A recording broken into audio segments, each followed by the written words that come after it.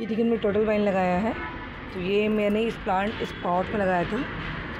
इसकी कई बार मैं कटिंग लगाती थी, वो लगता नहीं था। और मुझे दूसरे पॉट में शिफ्ट करा था तो मैंने इसकी कई सारी ब्रांचेस इसमें डाल दी। ये देखिए। ये प्लांट इस, इसके अंदर भी आ गया और इधर भी आ गया है। ये देखिए, इधर भी आ गया। इसकी पूरा ग्रोथ करके यहाँ से इसको हमने इस गमले में डाल दिया। इसमें भी ग्रोथ कर लिया। तो आप इस आइडिया से भी प्लांट को लगा सकते हैं। ये देखिए पूरा। यहाँ से ब्रांचेस हमने दबा दी थी तो इसमें भी आ गया ग्रोथ करके। अब यहाँ से हम इसको कट कर देंगे। ये देखिए, इस जगह से हम कट कर देंगे। इसको भी यहाँ से कट कर देंगे। ये प्लांट मेरा अलग से रेडी हो गया। ये देखिए, अलग से रेडी हो गया एक प्लांट ये देखिए, यहाँ पे भी एक है। ये देखिए, इधर से निकल के बाहर आ टोटल वाइन इसमें हमने ये देखिए हल्का दबा दिया था। आप इसको क्या करने का, ऐसे डालना है। आपको पॉट के अंदर कट नहीं ऐसे सेम मनी प्लांट को भी आपको ऐसे लगाना है। ठीक है? कट नहीं करना है। इसके इसको डाल देना है।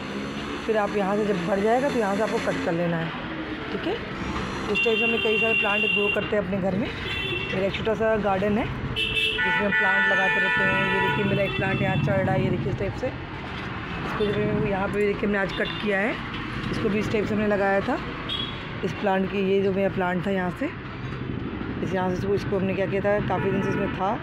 तो इसको हमने इसमें लगा करके, इसमें से कट करके निकाल दिया, ये देखिए इस जगह से। ये देखिए, ये कट गया, ये देखिए, इस जगह पे। ये देख रहे आपने, यहाँ से कट कर दिया, ये ऑटोमेटिक इसकी जड़ इसमें पकड़ ली है और इसको हम फिर मिट्टी में इस टाइप से दबा दे रहे हैं ताकि ये प्लांट मेरा इसमें पूरे अच्छे से ग्रो कर जाए। हमें मिट्टियों के साथ खेलना पॉट लगाना पेंटिंग करना ड्राइंग करना, ये सब काफ़ी पसंद आता है। हम अपने समय को पूरे टाइम समय व्यस्त रखते हैं। हरे कृष्ण हरे कृष्ण। इस टाइप से आप अपने घर में प्लांट लगाइए। ये अलग टाइप का मनी प्लांट है, ये देखिए अलग टाइप का मनी प्लांट है ये। बहुत सुंदर पत्तियाँ थी, इसमें छोटा सा हमने लगाया था। ये देखिए काफ़ी छोटा सा हमने लगाया था, ये देखिए, इस टाइप से। अभी इसको फिर से हमें इसको लगाएँगे। ये देखिए, यहाँ से इसको फंसाने के लिए हम इसमें फंसा दिए थे। ऐसे ये देखिए, ये वाइन में इसको भी हमें अलग से इसमें यहाँ से आपको किसी दूसरे कमरे में शिफ्ट करना है, वो इसमें ग्रोथ कर डालेगा। ठीक है?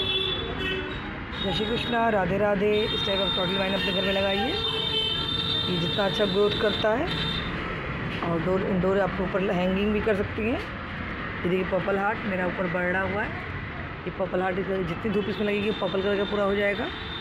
ये देखिए रेड कलर की कलर की पत्तियाँ हैं इसमें। तो हमें गार्डनिंग भी आपका एक हिस्सा होता है, ये देखिए। ये देखिए ट्रायंगल शेप की तीन पत्तियाँ होती हैं, इसको बटरफ्लाई कहते हैं। ये देखिए। तो green colour combination white combination ये सब कलर कॉम्बिनेशन की वजह से भी काफ़ी अच्छा लगता है। ये देखिए, ये भी प्लांट मेरा काफ़ी बड़ा हो गया है। हम बच्चों को गिफ्ट भी करते हैं प्लांट बच्चों को गिफ्ट कर देते हैं। प्लांट यहाँ से बढ़ रहा है। ये देखिए, अलग इसमें से एक अलग प्लांट भी इसमें लगा हुआ है। देखिए, आप लोग स्टेप से इसको लगाइए। ठीक है?